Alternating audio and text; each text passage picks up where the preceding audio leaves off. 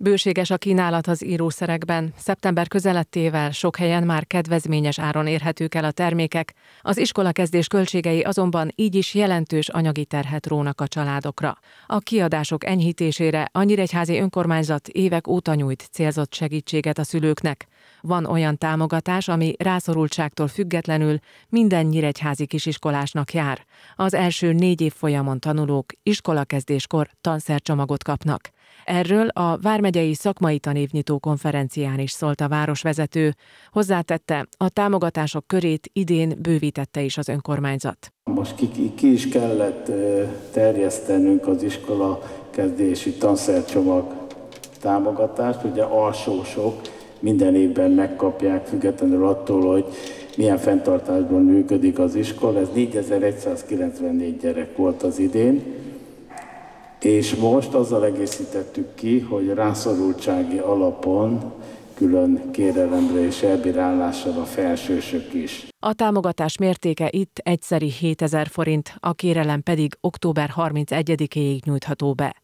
A támogatások nagy része rászorultsági alapon működik, és rendszeres gyermekvédelmi kedvezményhez kötött, vagy hátrányos, illetve halmozottan hátrányos helyzetűek vehetik igénybe. Nagyon fontos, és talán elsősorban említeném, hogy a rendszeres gyermekvédelmi kedvezményben részesülőketnek ezen a héten postázzuk a 6000, illetve 6500 forintos iskolakezési támogatást. Ez rászorultsági alapon történik ennek az utalása.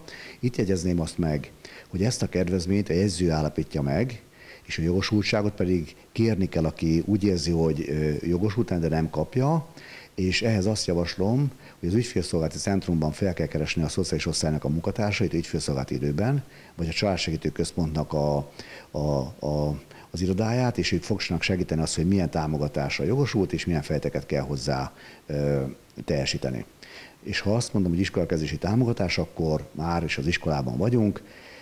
Ebben az esetben 50, illetve 80 százalékos támogatást tudunk adni a bérlet megvásárlásához, ez is próbáljuk a mobilitást elősegíteni.